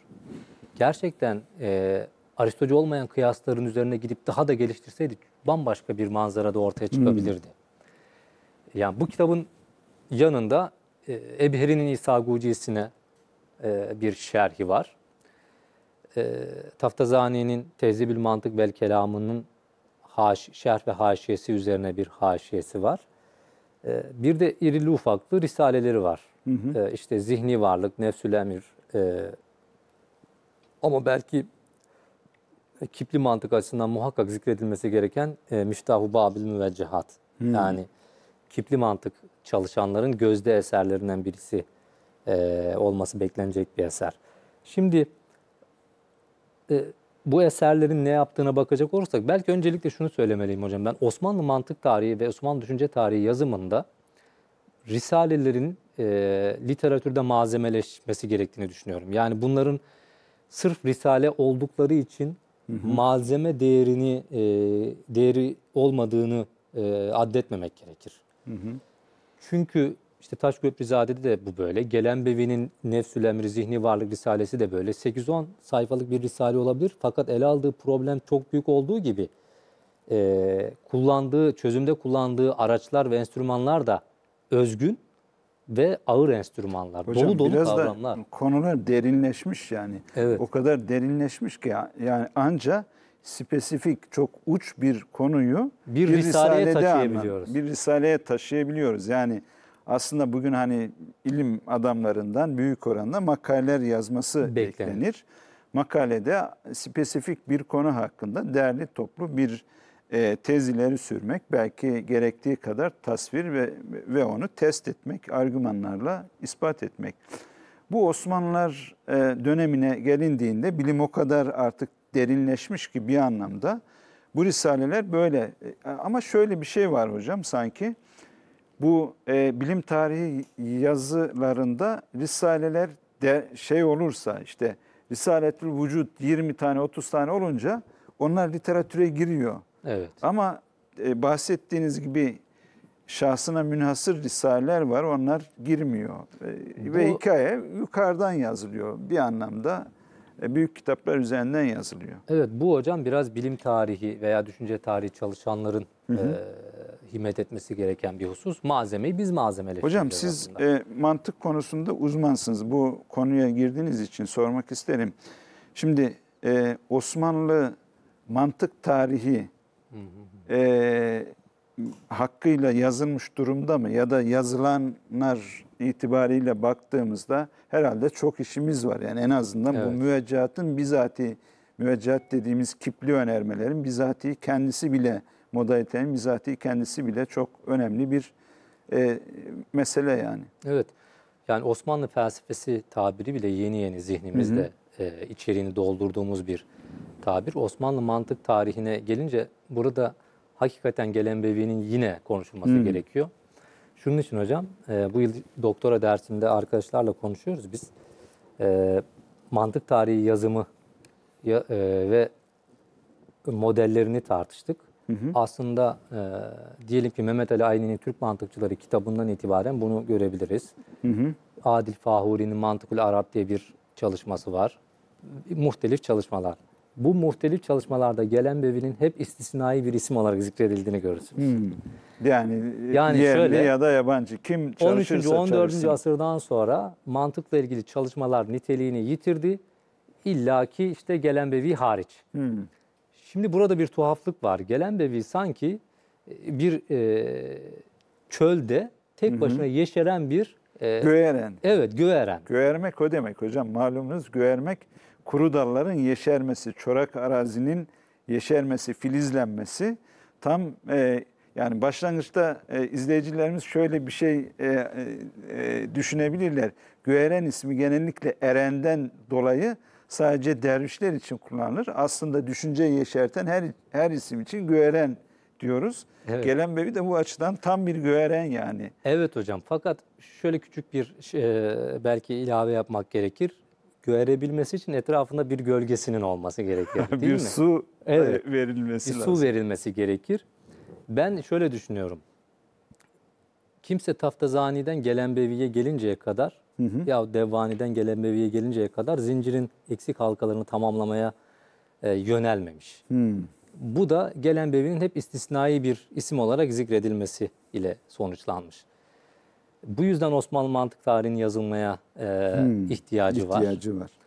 E, ve bir, hepimizin malum olduğu üzere biraz da ilim tarihi, siyasi tarih okumasına kurban edildiği için e, bu tarih e, yazılmadı. İşte o yüzden mesela Necmettin Beşikçi Hoca'nın o Gelenbevi'nin gizli kaynakları e, yazısını önemsiyorum. Bu türden çalışmaların yapılması lazım. Gelenbevi'nin doğrudan yahut e, gizli olarak at- atıf yaptığı eserler, Gelenbevi'yi besleyen eserler. Gizli olarak atıf yapmak ne demek hocam? Nasıl atıf Şunu yapıyor hocam, gizli olarak? e, mesela denildi ki kıyıyla, kaydıyla bir görüş vermiş görüşün kime ait olduğunu Bilmiyoruz. zikretmemiş. Osmanlı Zikretmemiş. uleması biliyor olabilir. Gelenbevi ve muhitince bu bilgi sabit olabilir. Fakat biz bilmiyoruz. Bilmediğimiz için de mantık tarihini yazamıyoruz. Yazamıyoruz. İşte bunu zaten belirginleştirmek çağdaş a- akademisyenin işi. Evet. Yani o kıyla ile kastedilen. Yahut eser vermiş müellifini zikretmemiş. Bunları bizim belirginleş. Bu bize şunu veriyor hocam. Gelenbevi tek başına ortaya çıkmadı. Gelenbevi'yi besleyen kaynaklar var ki o kaynaklar Osmanlı mantık tarihini oluşturan kaynaklar tam da. Yani kimse hüdayi nabit olmuyor. Gökten zembille inmiyor. O zaman Evet, evet. gelen beviye müstakil atıf aslında doğru bir yol değil. Değil. Yani bazen şöyle atıflar var. da zor hocam. Tabii. Bazen şöyle atıflar olur ya hocam. Semasında tek yıldız. Yani bir tek yıldız bir semada parlamaz. Muhakkak onun parlayacağı etrafında Onun kadar başka parlak yıldız olmasa da onun parlaklığını gösterecek. gösterecek. Yani kıyas yapmamız lazım ki evet bu parlak, Evet. bu daha az parlak diyeceğimiz başka Mesela çağdaşlarından Hadimi hocam. Hocam çağdaşları demişken bir konuşmadık da mesela Esat Yanyevi öldüğünde 18. Gelenbeyi doğdu. yüzyıl, evet. 18, Veli- ama 18. yüzyılı genel bir şey yapabiliriz. Osmanlı'nın ilginç yüzyıllarından bir Evet, tanesi. evet. Kimler var mesela hocam? Biliyorsunuz hocam bu yüzyıl e, genelde e, çöküş yüzyılı olarak anlatılır. Sadece siyasi tarihte Siyasi değil, tarih açısından. ilim tarihinde de bir e, decline, bir çöküş olarak anlatılırdı. Yani Türkiye'de böyle anlatmayanlar var. İhsan Fazlıoğlu Hoca e, başından beri e, aksi yönde şeyler yazdı. Fakat mantık tarihi açısından bunu söylemek e, çok kolay değil. E, bu türden çalışmalar bunun bir çöküş olmadığının aksine bir akışın olduğunu gösteren çalışmalar bulmak zordu. Yeni yeni e, yapılıyor bu çalışmalar. Biz bugün görüyoruz ki o çöküş anlatısının aksine ilim e, tarihi gayet dinamik İstanbul çevresi diyebileceğimiz bir çevre bile var yani o dönemde. var. E, yani Hadimi bu dönemden. Tabii tabii şöyle 18. yüzyıldan işte Yan Yalı Esad'ın o tercüme, Aristoteles'e dönme olayları, Veliüddin Carullah Efendi Ve İbn Carullah da mı 18. yüzyılda? 18. yüzyıl, 1738 falan olması lazım vefatı. 18. yüzyılda bir kitap koleksiyoneri gibi bilinir genelde ki koleksiyoner gerçekten büyük e, şeyleri var. Son zamanlarda çalıştığım için bu e, ismi zikrediyorum. Fakat e, mesela İsa Guci'nin haşiyeleri üzerine e, birkaç haşiyesi var. Molla Fenari'nin şerhi ve haşiyesi üzerine Carullah'tan bahsediyoruz. Ca- Veliüddin Carullah Efendi'nin haşiyeleri var. Hatta Ciheti Vahdi haşiyesi üzerine e, haşiyeleri var ki çağdaşı e, Kara Halil Tirevi'nin meşhur bir e, haşiyesi vardır Ciheti Vahdi mevzusuna. Bu bilim felsefesi O tartışmasıyla zaman ilgili. Kara Halil de bu yüzyılda. Kara Halil de e, bu yüzyılda. Bakın 4-5 tane isim çıktı. Yani saymadan sayar gibi olduk yani. Hadimi, o dönemde bir sürü tercüme faaliyeti de yürüyor aynı zamanda. Ee, Tabii, Gelenbevi, Hadimi işte Palabıyık. e, O matematikte hocam. Matematikte. Hadimi şunun için önemli mantıkta. siz mantıkçılar mı sayıyorsunuz? Ben evet, yok bu, Sade- isim, bu isimlerin aynı zamanda kelam, e, işte fıkıh, belagat eserleri de var. Fakat Burhan kitabını konuşuyorduk ya, Burhan Evet. kitabı özelinde Hadimi şunun için söyledim. En az belki Burhan kadar önemli bir eser e, yazıyor Hadimi. Hmm. E, fakat Burhan'ın gölgesinde kalıyor eser. Niçin Burhan'ın gölgesinde kalıyor? Çünkü hemen kısa bir süre sonra şarihleri var Burhan'ın. Hmm. Yani Burhan tedavüle giriyor yani. Burhan tedavüle giriyor ve 8-10 şarihi var hocam. Yani e, Musuli, Harputi, Rizevi, işte e, Penciyuni, e, Abdülna, Abdülnafi İffet. Efendi biliyorsunuz Burhan'ı hem Türkçe'ye tercüme ediyor ama bu, bu kitapla ilgili bir şey vardır. Hani Türkçe tercümesi Arapçasından daha zor Hmm. e, gibi bir e, hikaye vardır kitapla ilgili. Abdülnafi İffet Efendi Gelenbevi'nin sadece Burhan kitabını değil, Adap kitabını da tercüme ediyor Türkçe'ye. Hocam Abdülnafi dediniz de bir şeye atıf yapayım. Ben e, malumunuz yüksek lisansı Katip Çelebi üzerine çalıştım. E, Katip Çelebi 1600'lerin insanı, 17. yüzyılın insanı. E, sonra e, doktoraya başlayayım dedim. E, ne çalışabilirim derken ben Abdülnafi'yi çalışabilir miyim diye biraz Abdülnafi'nin bütün işte o e, tercüme Burhan'ı Bu e, tercüme olayı mı sizin dikkatinizi çekti? yani şöyle yani mantık Türkçe'de başlangıç itibariyle nasıl temellendirilmiş diye. Tabii daha sonra hikaye başka noktalara kaydı ama e, Abdülnafi'nin bende öyle bir hatırası vardır, anısı vardır. Hocam e, şimdi bu durumda Burhan e, 18. yüzyıl mantık çalışmalarının merkezindeki bir kitap ne olursa olsun. Evet. Burhan tam bir mantık kitabı çünkü Burhan aynı zamanda mantıkta bir bölüm ismi de. Tam bir kitap mı yoksa sadece bir bölüm mü anlatıyor? Evet güzel. Burhan Hocam aslında mantığın bütün konularını e, belli bir sistem içerisinde ele alan bir kitap. Yani İbn Sinacı düzende bir tür kıyas biçiminin adı olarak verilmiş bir şey değil. E, mantığın kavramlar mantığından e, önermeler mantığı ve çıkarım mantığına doğru giden hemen her kısmında söylenebilecek özgün şeyler var. Mesela kavramlar mantığından başlamamız gerekirse e, Burada Osmanlı mantıkçılarını karakterize eden iki husus var mantığa katkılar açısından. Bunlardan birisi mantık konularını oldukça semantik bir içerikle ele almış olmaları. Bu önemli, hiç küçümsenecek bir şey değil. Çünkü modern mantık için de semantik çok büyük bir. Semantik derken ne? Ee, şu- yani ne temel bir ayrım yapın hocam. Şöyle yani hocam, biz dil- de şey yapalım. Dil dille ilişkisi, dil bilimle ilişkisi bakımından. İçin işin içinde belagat, ilmül vaz yani kelimeler anlamlarını e, nasıl bulurlar? Bir kelime bir anlamla nasıl ilişkilendirilir? Nasıl kullanılır? Anlamla kelime arasındaki ilişki nedir? Bunun mantığı nedir? E, esas itibariyle önerdiği şey şu. Kavram dediğimiz şey sadece Aristotelesçi mantığın bize önerdiği biçimde tümelliği bakımından ele alınmayabilir. Sırf dilsel bir olgu olarak da ele alınabilir. İlginç. Burada arkada mesela Taftazani'nin belagatçı perspektifinin etkisini görebiliyoruz. Bu yönüyle bir modern mantık tarihçisi e, bu Burhan'ı ilk duyduğunda şöyle demişti. Yani şemsiyeye hiç benzemiyor. Hmm. Ben de kendi kendime dedim ki bunun benzeri şemsiye değil zaten. Yani e, insan ilk aklına gelen şeylerden bir tanesini söylemiş hocam. Evet yani aslında çok da şunun için kınanacak bir şey doğru, değil ama. Doğru hocam. Niçin? Çünkü hem medreselere geçen e, önemli bir metin hem de İbn Sina sonrası dönemin e, hikayesini toplayan bir metin. Katibinin Eşşemsiyesi 13. yüzyılda yazılmış bir mantık el kitabı diyelim. Fakat kipli mantık falan işin içinde olduğu için zor bir metin. Şunun için Şemsiye ile mukayese edilmez. Çünkü hikaye daha sonra Taftazani gibi dilci, alim yani hem dilci hem mantıkçı olan alimlerin hikayesi uzanıyor bence Gelenbevi'ye. Bu yönüyle Gelenbevi'nin kavramlar mantığındaki katkısı yani benim e, yorumum yanlışlanabilir. Semantik bir semantik bir yönelim olması. Evet, semantik güzel. mantık denilebilir buna. E, semantikçi mantıkçılık denilebilir. Kavramlar mantığında en azından bunun bariz etkilerini görebiliyoruz. güzel. Önermelere geldiğimizde de ise Aristotelesçi olmayan kıyaslara dair yönelimler var. Yani yeni bir bilim, yeni bir mantık anlayışı, yeni bir yöntem anlayışı gibi. Ee, işte mukaddime-i garibe. Yani Aristoteles'in e, bir kıyasa ancak öncülleriyle sonuç verdirtebilirsiniz. Öncülleri de bu kıyasla açıkça zikredilmelidir.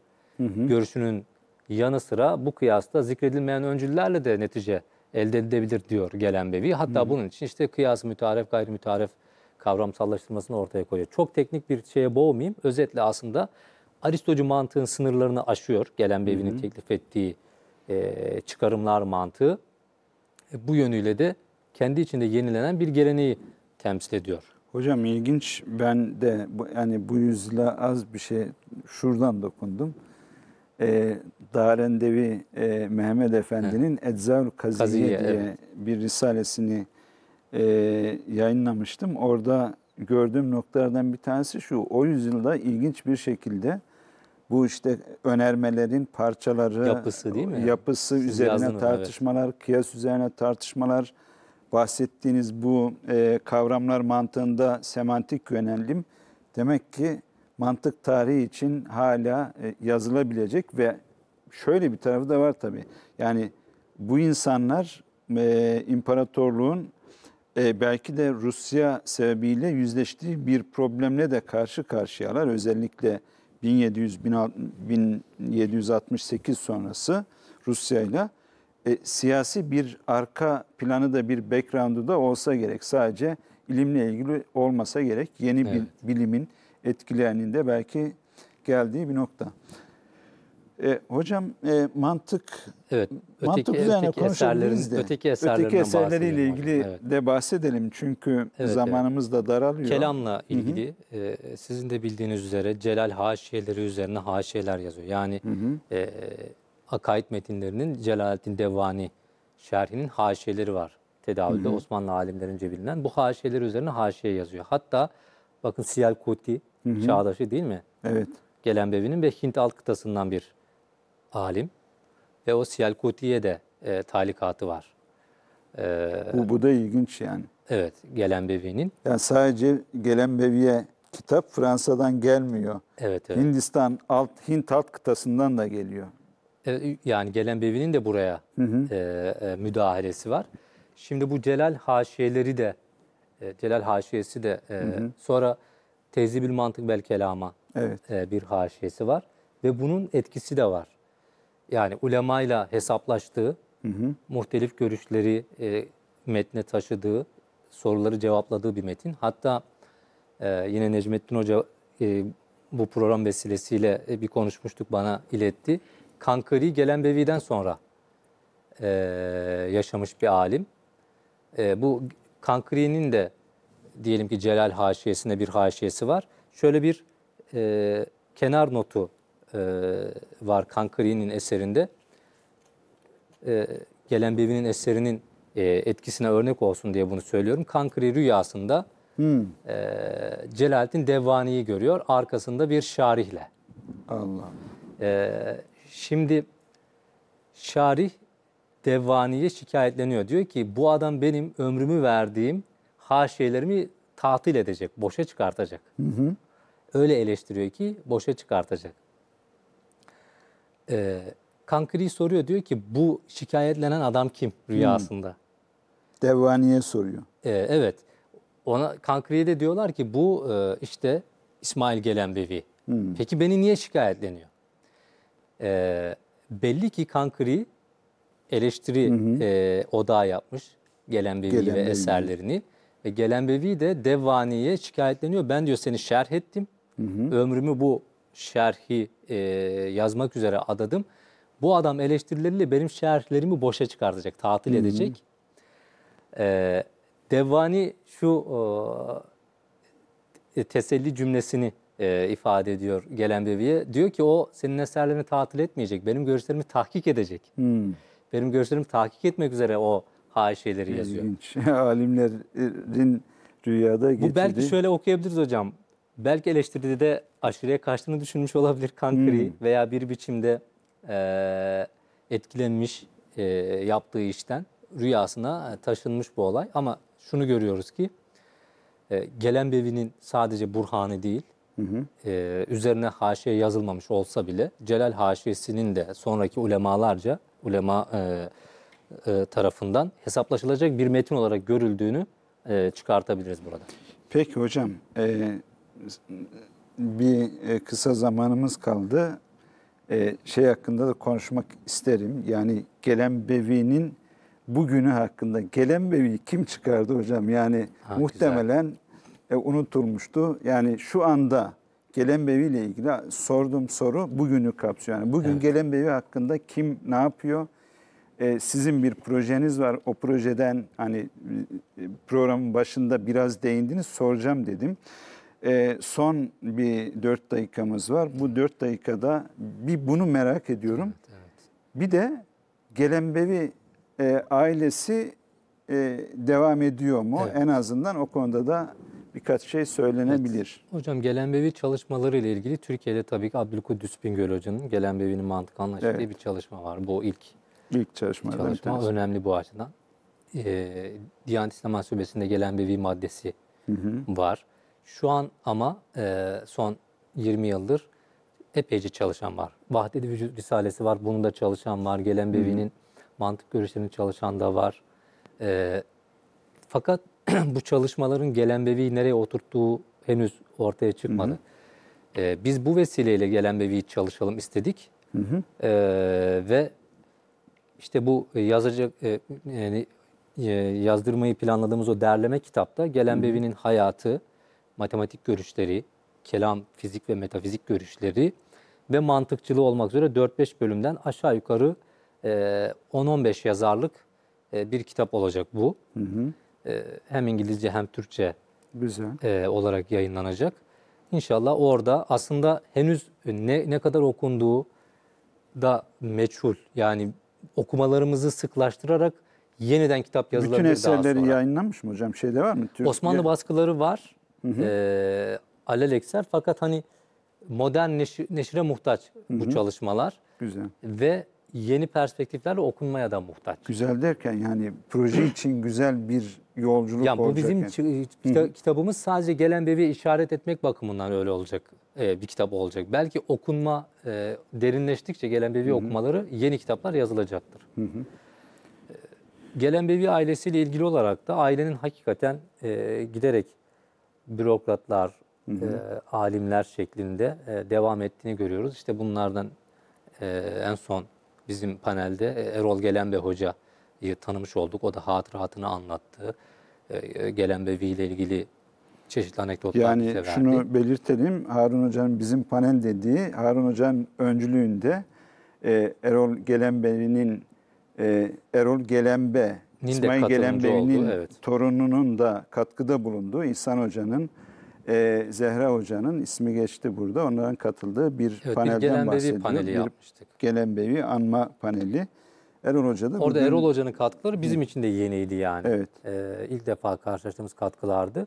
Dolayısıyla bir e, tarihçi torunları var. E, hatta e, İhsan Hoca buna sık sık e, dikkat çeker. Mantığı tarih usulüne uyarlıyor. Hmm. E, dediği bir Hamidetül Usul e, kitabının yazarı bir tarihçi torunu var. E, dolayısıyla bu da araştırılmaya muhtaç bir e, sonraki ailenin e, ilmi ürünleri. Evet. araştırmaya muhtaç. Harun Hocam, e, burada e, tamamlıyoruz. Evet. Ama e, biraz daha çok portre yönüne odaklandık ve esasında bakılırsa Gelenbevi portresi Gelenbevi'ye e, Gelenbevi çalışmalarına duyulan ihtiyacı da öne çıkaran bir e, program yaptık. Ama açıkça düşünceleri üzerine konuşmayı da gerektirecek bir programa ihtiyaç var. Evet. Umuyorum ki o proje e, başarıyla tamamlandığında, o bahsettiğiniz 15 makale yayınlandığında bu sefer fikirler üzerinden Konuşuruz daha inşallah. belki biraz ağır e, bir program olabilir ama bir gelen bir programı daha yapmaya ihtiyaç var gibi İnşallah. duruyor. Çok teşekkür ederim. E, geldiniz, şeref verdiniz. Ben teşekkür ederim.